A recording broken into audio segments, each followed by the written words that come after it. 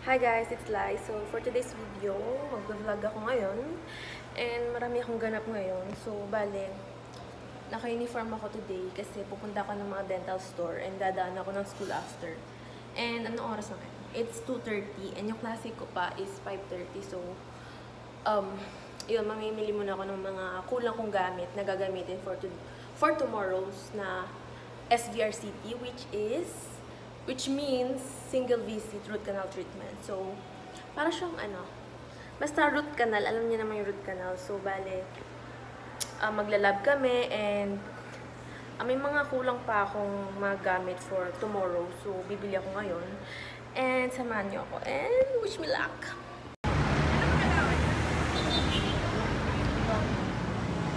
Okay, wala sila dun yung mga hinahanap kong gamit. So, pupunta tayo ng ibang store sa tapat ng, hindi naman tapat, malapit sa CEU, Unicare, or sa budget. Kahit saan dun. Safe.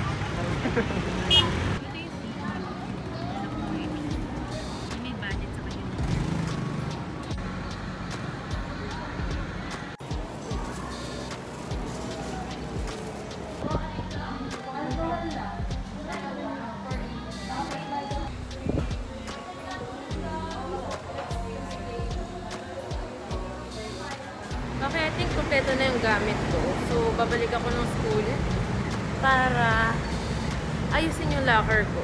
Hindi ko nga alam kung dadalhin ko ba yung gamit ko sa dorm or iwan ko na lang sa locker. Pero I think dalhin ko na lang para i-make sure ko kung kompleto na ba, diba? Mamayang gabi. And parang uulan, so bilisan natin yung lakad. Wala po naman akong dalang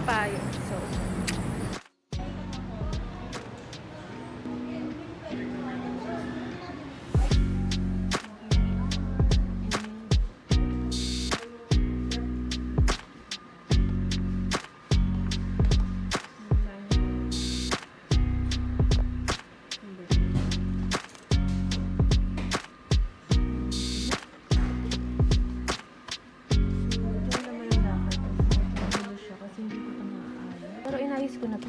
Yung mga dadaling ko.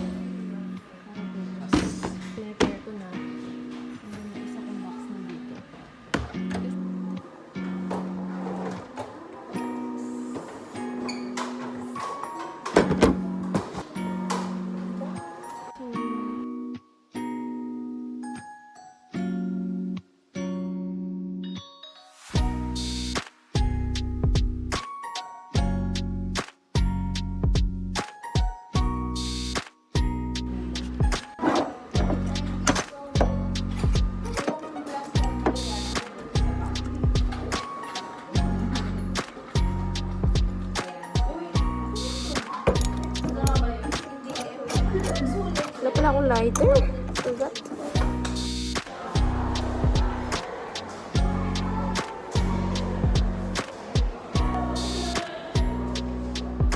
update lang. Nakawin na ako dito sa dorm and sobrang pagod kasi ang haba ng lakaran.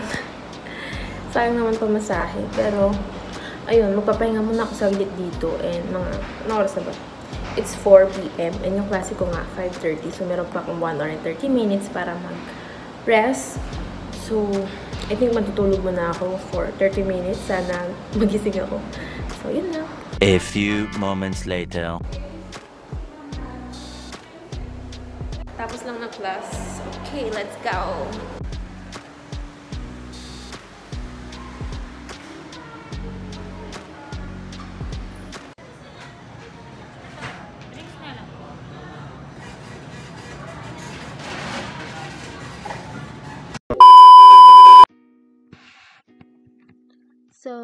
Anyway, I'm gonna show you the materials and instruments that I use in our SVRCT. So I have here two boxes and I'm gonna show you all one by one.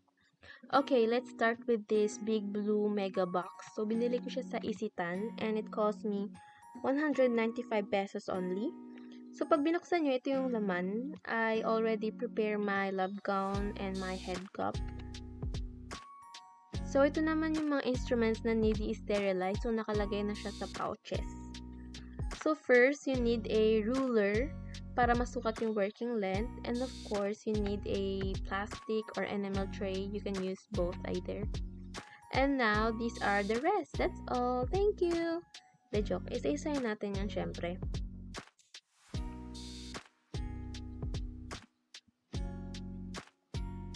Okay, let's start sa mga susuotin. So, first, face shield. Kaso, nasira eh. And head cap, lab gown, disposable head cap, and of course, a pair of gloves. So, for the instruments, sulat ko na lang sa screen, naka-pouch na eh. So, you need to prepare two basic instruments like yung mga mouth mirror, dical applicator, spoon excavator, woodstone, cotton pliers, endo explorer, at sinama ko na rin yung in-sterilize yung need sa rubber dam, like yung mga rubber dam frame, punch, and clamps. And wag nyo pala i-sterilize yung rubber dam sheet, alcohol lang pala yan. So, ito naman yung mga consumable materials. So, first, you need to prepare cotton rolls, ayan, and cotton gauze, cotton pellets, floss, alcohol, of course, polybib, and tissue.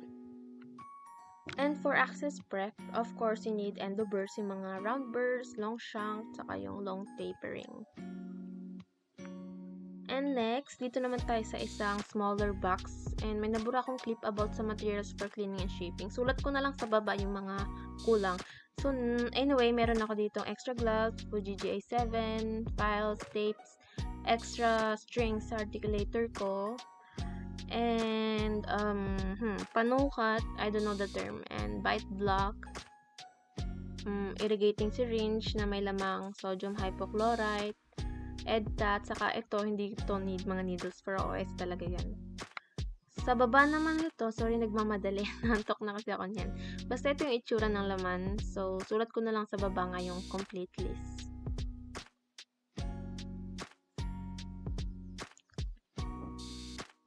Tapos, ito naman yung mga ipapasa namin like yung x-ray, saka yung mga sasagutan. And, nagdala na rin din ako ng extra tooth. May kasamang uh, sticky wax if ever matanggal yung tooth sa articulator. Wag naman sana. The next day.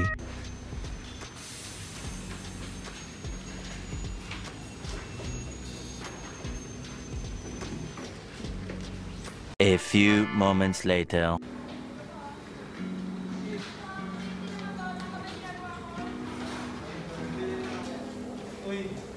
Ayoko na, Jai. I'm tired. Okay, inutusan ako. Alis na sana ako kasi inutusan ako eh. Lagyan ko daw siya ng name dito. So, patapos naman ako. I mean, nagliligpit na ako kaya ano ko na lang siya. Gawan ko na lang siya.